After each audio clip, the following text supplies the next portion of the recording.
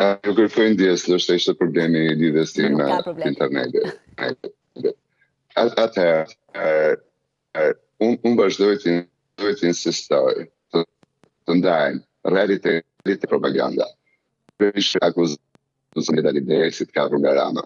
Mirëpo, në vetë fjalët e Zotit Berisha, kur ai donte të justifikonte, domethënë, shpenzë shpenzimet e fushatës, që në bashkitë në të cilat ai ka bërë fushatën, në të cilat kanë mbledhur njerëz nëpër salla, këto salla, salla janë dhënë nga nga, nga bashkitë shqiptare.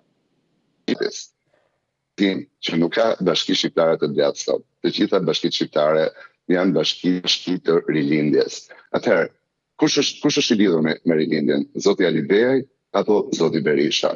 Një fakt tjetër ulëritës është se shteti shqiptar nuk po respekton ligjet e po këtij shteti për t'i liruar zyrat partisë zyrtare demokratike.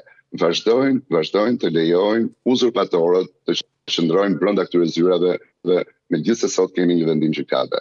Dhe, dhe unë këtu do të sillja në, në vëmendjen tuaj dhe një, një, një gafë të rëndë diplomatike të zonjës Glover.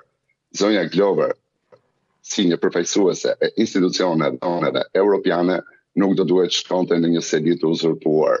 Unë pres nga partia zyrtare demokratike t'i kërkojnë shpjegimin e zonjës Glover dhe, dhe t'i kërkojnë asaj që të, të bëjë një ndjesë publike.